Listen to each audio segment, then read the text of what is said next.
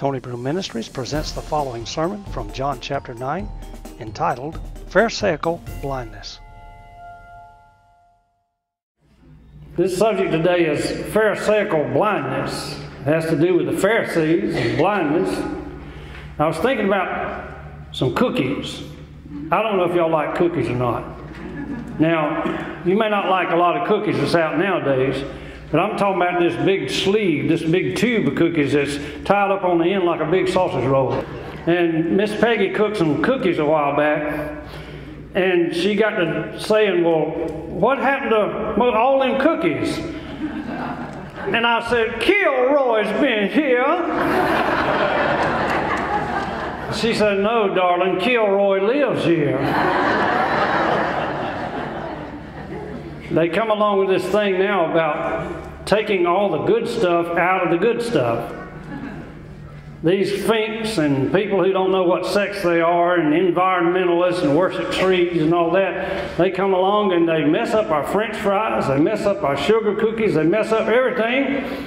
We need to just quit paying attention to them and go back and eat some old, good old home cornbread. And that make more sense to me. Though it's not considered a courtesy to do so, with the Lord's permission and the indulgence of His people, we will plop right into the middle of this story, John chapter 9, verse 24.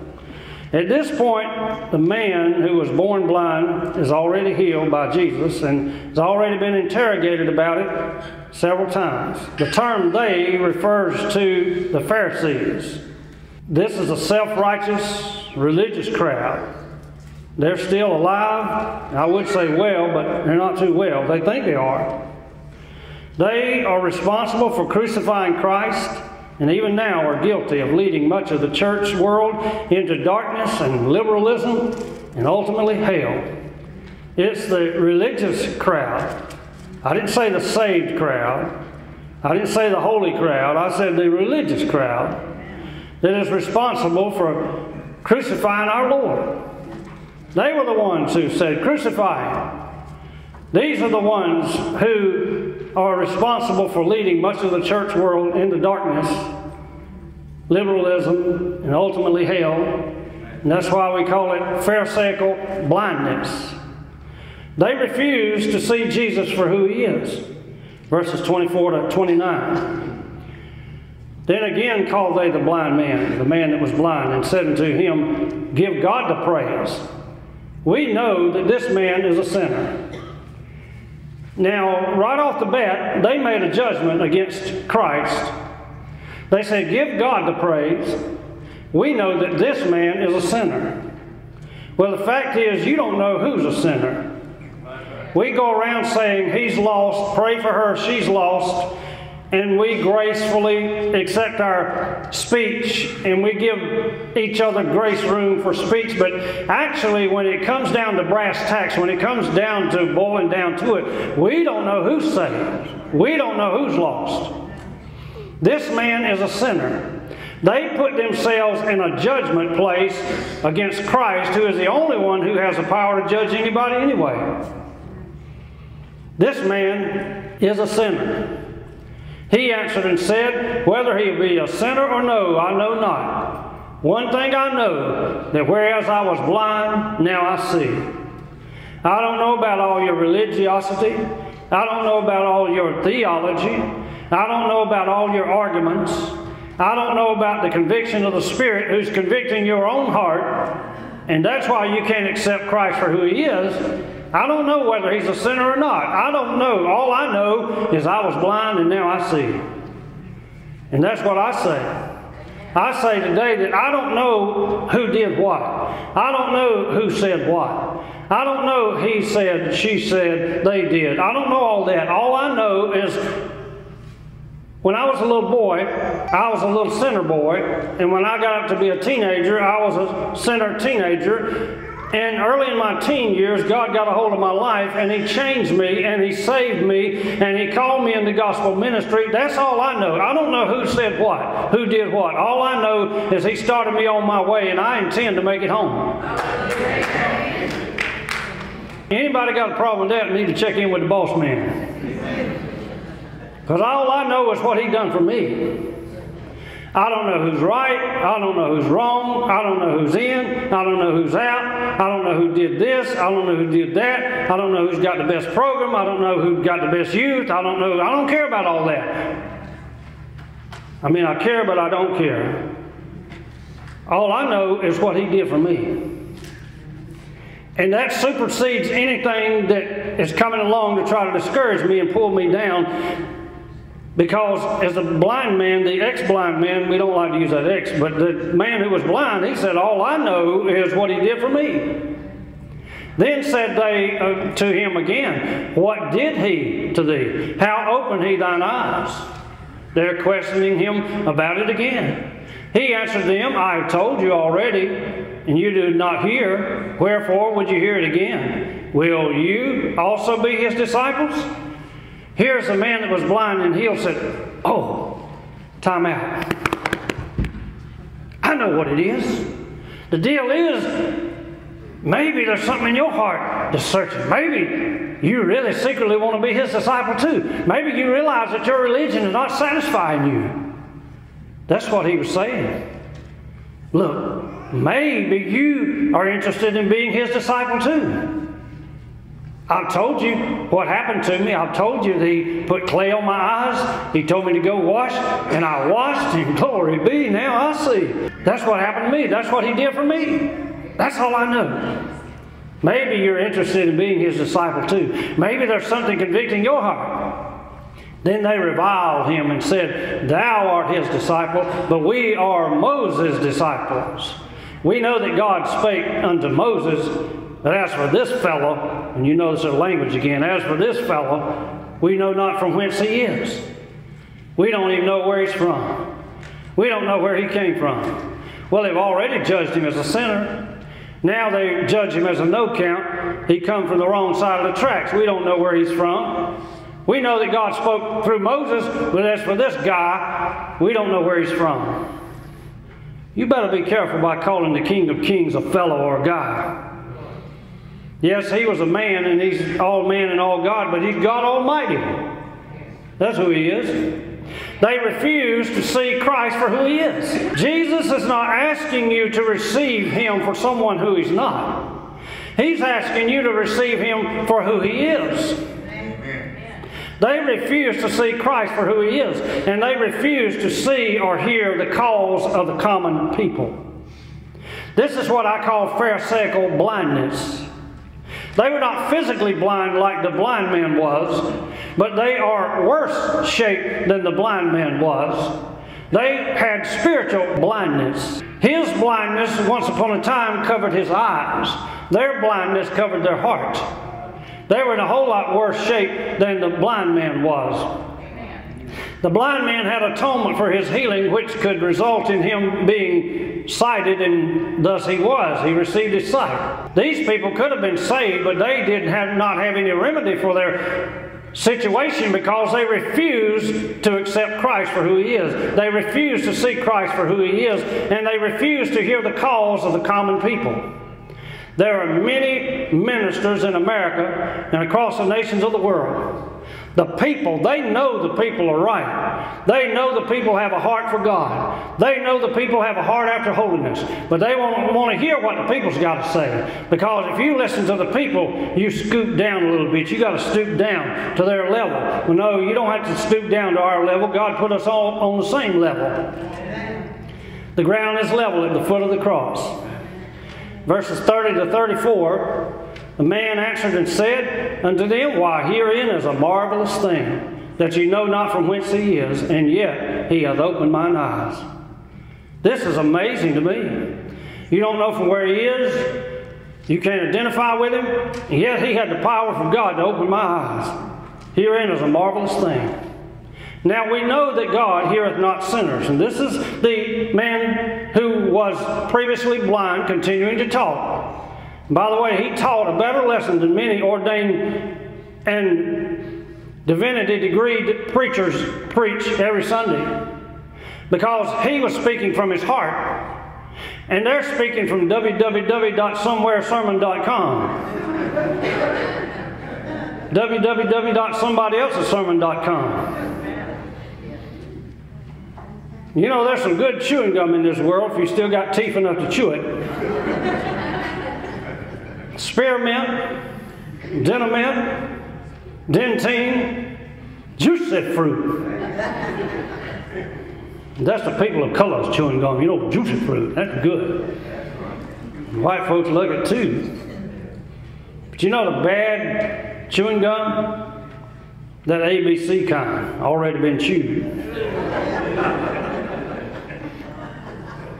Sermons that's already been chewed, they try to give it to you, make you chew it again, but it ain't got enough power of God to raise the dead, it ain't got enough power of God to do anything. That's why the frozen chosen. Icicles on the pew, and iceberg in the pulpit. It's time for the power of the Holy Ghost. It's time for an old awakening and shaking. It's time for something good going on. We get back to the Bible.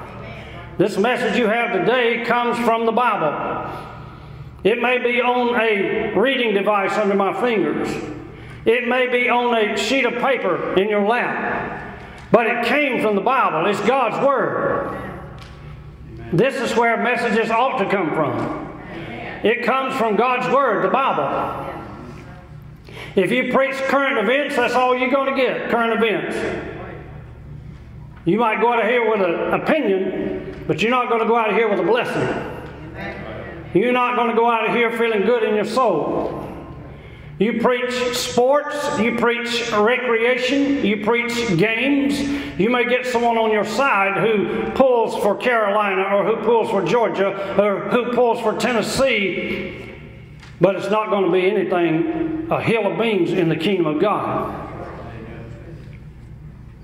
He's talking about you don't even know where he is, and yet he has opened my eyes. We know that God heareth not sinners, but if any man be a worshiper of God and doeth his will, him he heareth. And there again, I say, this man had more solid theology. He had just come to Christ and had really not even professed Christ yet. He had been healed, but he had more theology in his belly than many preachers who are ordained have in their heart. And some people say, this poor blind man, he didn't know what he was talking about. He says, God hears not sinners. Well, he knew exactly what he was talking about because that's right. God does not hear you if you're a sinner. The only way he hears you if you have a prayer of repentance and come to God. People say, well, God answered my prayer and I was in sin and I prayed and God answered it. God had mercy on you. That's what happened. God does not hear you. He cannot hear you if you don't belong to Him. You're not a child of God. You're serving the devil, living for the devil, having what you call a good time with the devil, and then you think you're going to come to God when you're in trouble, and He's going to hear everything you say and do everything you want to do. Ain't going to happen. Even a man who was previously blind knew that. Now, there's another blind man that knows it too. But the Bible said that God does not hear sinners, but if you do His will. If you worship God, if you know God, you worship Him, and you do His will, He hears you. Since the world began, was it not heard that any man opened the eyes of one that was born blind?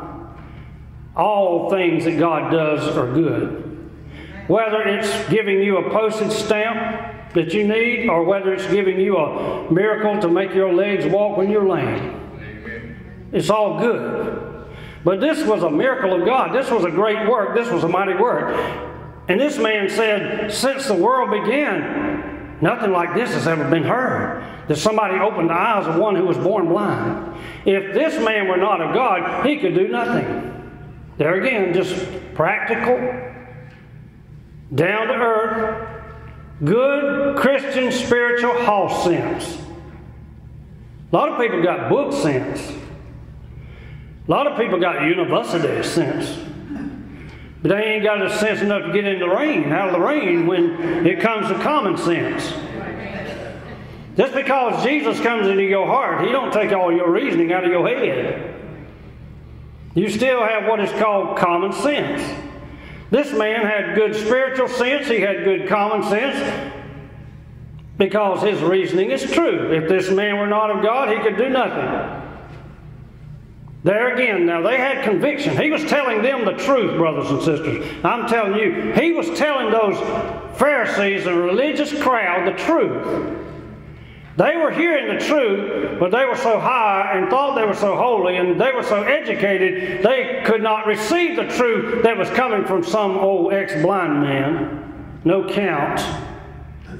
So, because you're certain color, because you're certain creed, because you're a certain race, because you're from a certain place, because you're of a certain financial status, your word don't mean anything. No, never mind whether you're telling them the truth or not. The determining factor should be the truth, no matter who speaks it.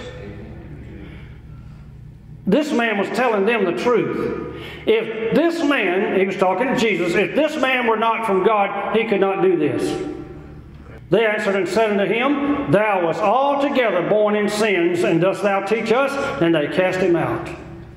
They refused to hear the calls of the common people. One of the greatest mistakes that pastors and evangelists, and I'll say even like the Bible says, apostles and the whole thing, teachers, preachers, one of the greatest mistakes that we can make is to shut our eyes and our ears and our heart to the calls of the common man. We can hide ourselves in our accolades and in our towers and in our rooms where they slippish and juice through the hole and try to protect the anointing. You can dazzle yourself in that for a little while, but it ain't going to work. Because your palace is going to be like Nebuchadnezzar, it's going to come down. The God of Abraham, Isaac, and Jacob still hears the calls of the common man. Those who have a fire in their soul, those who love God, those who still want the Word of God, those who still want the holiness of God, those who still are crying out for God. They care about our nation, they care about our country, they care about the cause of Christ, they care about the church, they care about the young people. The common man has the answer. They're not educated enough to bring it out, but it's in their heart. And we do well to hear the calls of the common man. Instead of receiving it, they just got mad and cast him out.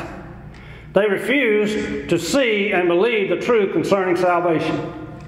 They would rather hide in their religiosity, in their Pharisaical blindness, than to receive the calls of the common man and to see the truth concerning God's salvation. Verse 35 to 39. Jesus heard that they had cast him out, and when he had found him, he said unto him, Dost thou believe on the Son of God? That's a wonderful question to ask someone. Don't say, Do you like the Baptist? Do you like the Methodist? Do you like the Pentecostal? Matter what you like. Well, it does matter what you like. Guess if you're paying money, pay what you like. But the deal is, is not whether we like the Baptist, not whether we like the Pentecostal, not whether we like the Methodist, not whether we like hot sauce or whether we like cold salad. Or the deal is, do you believe on the Son of God? Amen. When it comes down to heaven and hell, that's what matters. Doesn't matter whether you like mayonnaise like I don't, or whether you like mustard like I do. What matters is, do you believe on the Son of God? He answered and said, Who is he, Lord, that I might believe on him? We're expecting people to believe on someone whom they don't know who he is. We want everybody to believe in Jesus, but they don't know who Jesus is yet. We presented a church, we presented a program, we presented a play, we presented, and that's good. All these things are good in their place. People work very hard to bring these things about. But are we presenting Jesus Christ? Are we presenting a good ministry? Are we presenting a good name? Are we presenting ourselves or are we presenting Jesus Christ? Lord, who is he that I may believe on him? And Jesus said unto him, Thou hast both seen him, which is a miracle because he couldn't see before and now he can. Thou hast both seen him, and it is he that talketh with thee. The message translation said, This is me. Don't you recognize my voice? It's what blind people have to depend on. He had been used to listening to the voice, and Jesus said, You're looking at me now. Don't you recognize my voice? And he said, Lord, I believe. And he worshiped him. Do you remember the first time you really ever worshiped God? Do you remember the first time you ever really believed? Oh, glory to God. When God got a hold of your heart and your life, and you worship God. You believe not because just a preacher said so, not because just a Sunday school teacher said so, not because just a singer sang, but you believe because it's in your heart. You believe God. It's like those people in the Samaritan town. They told that woman, I'm glad you told us that this man has showed you everything that you ever did. This has got to be the Christ, she said. He told me everything that I ever did. Is not this the Christ? And they went out and they heard and they believed. But then they said, Now we believe not because of your word, for we have heard him ourselves. Glory to God makes you want to do a Pentecostal cartwheel. Lord, I believe. And he worshiped him. Jesus saved people before the cross, at the cross, and after the cross. Some people think that nobody was saved until the resurrection. Where they got that from? Well, they got it from their kooky headed Pharisaical blindness, like everything else is wrong with them. That's where they got it from. Abraham was a saved man in the Old Testament. The scripture said he believed God and God put it to his account for righteousness. David was a saved man in the Old Testament. You couldn't be anointed like David was unless you were saved. Oh, they may not say born again like we do. But this man, this man who was previously blind, he believed. What else you got to do to be saved? Believe on the Lord Jesus Christ and you'll be saved. That's all you can do, too, by the way. You cannot do anything else. How can you be healed? You believe. That's all you can do. You can't pay enough money for it. You can't do enough Hail Marys for it. You can't do enough penances for it. All those, and Martin Luther and all those, they went through all that. They tried and tried, and they found out the truth dawned on them. It's by justification by faith in Christ alone. That's all you can do to be saved. This man who had just been healed has now just been saved, and he believed on him and he worshiped him. And Jesus said, For judgment I am come into this world, that they which see not might see, and they which see might be made blind. And what in the world is all that about? Well, just simple again, common sense. They who see not might see. Of course, physically, if you don't see, Jesus can make you see. But even spiritually, if you don't see, He can make you see. Those who see not might see, and those who see might be made blind. There are many people who think they see.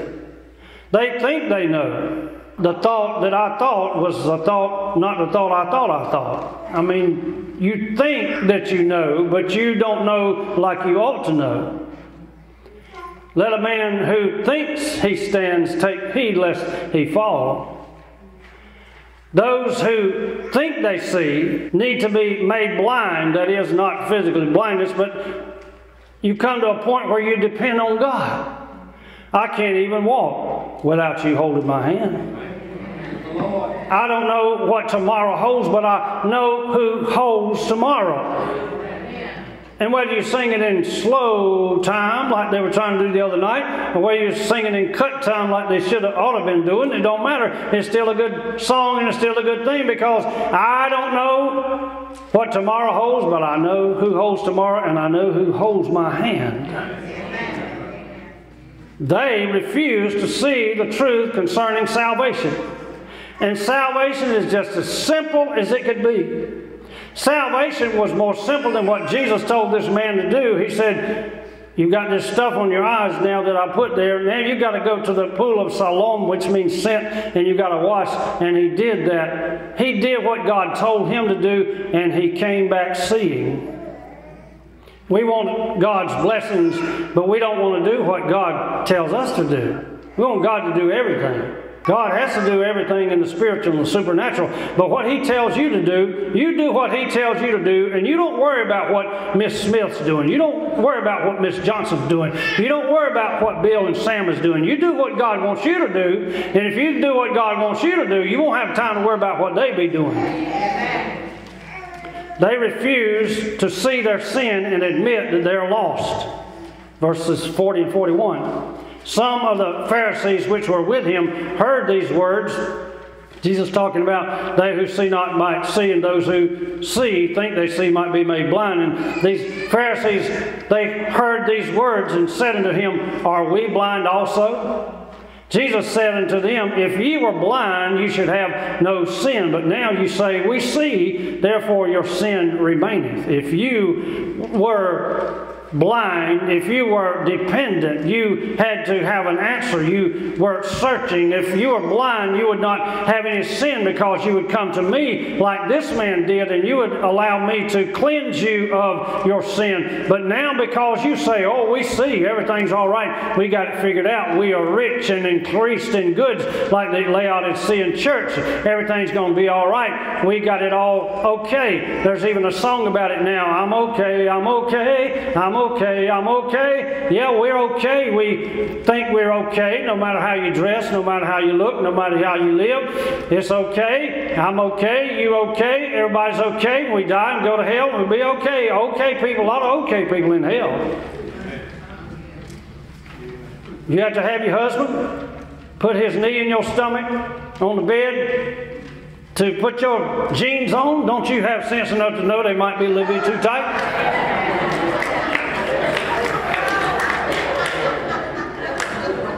But I'm okay. I'm okay. Everybody's okay. Okay, what about the truth then? What about pharisaical blindness? It's hard to keep people straight when you present yourself in such a way that it's hard to stay straight. I mean, we're still straight, we ain't gay, we straight, but it's hard to say straight, clean straight. It's still holding us of hell. That's what I'm trying to say. Pharisaical blindness says it doesn't matter. And there's even an announcement made. Don't come to my funeral dressed up. Don't come with no suit. Don't come with no tie. Just come just as you are. Well, just as I am meant something else. It didn't mean quite like that. It meant just as I am without one plea, but that thy blood was shed for me. I think that's what that meant.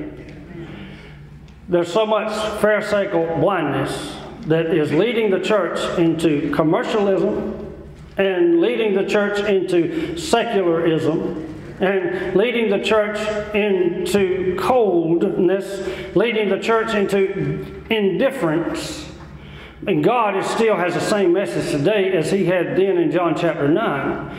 Working the works of God while it is day, and the night comes when no man can work.